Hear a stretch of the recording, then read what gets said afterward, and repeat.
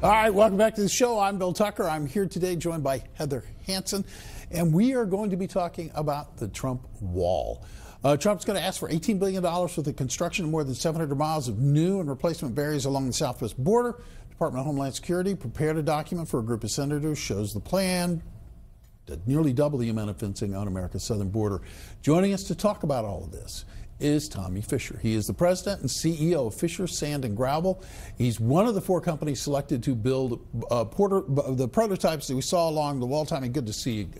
I'm glad you're here. Yeah, good to see you. I'm just a little hurried because I didn't have nearly as much time as I thought we'd have with you. Uh, let me ask you this really quickly, and then we get to your wall.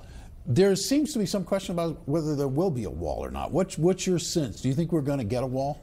Oh, I, th- I, I think so. Um, I, I, think the wall is needed. I mean, with all the communication uh, I had with agents when we were building the prototype, it's much needed. And um, the main thing is what's different with us is we're sort of doing a border protection system, so it includes uh, not only the wall but two high-speed roads on each side of the wall.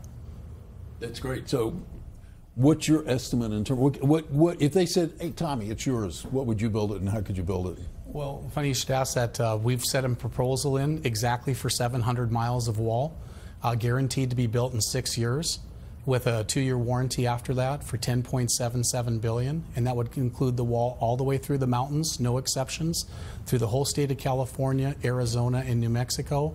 And then we offer a, basically a 12-year additional warranty on workmanship for another billion four to take it to 12.21 uh, billion. So right now if they've accounted 18 billion we've sort of beat the budget by 6 billion with our patented process that's great. It's, it's a fascinating. I, I, in preparing to talk to you, I didn't realize that the prototypes were out there and they're getting so much attention and getting artistic attention, and people want to make art uh, art installations about this.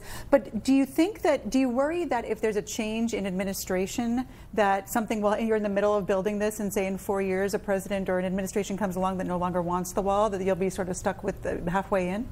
I think once they see what we're capable of building with the high-speed roads, the Border Patrol agents are going to be so afforded the ability to do their job.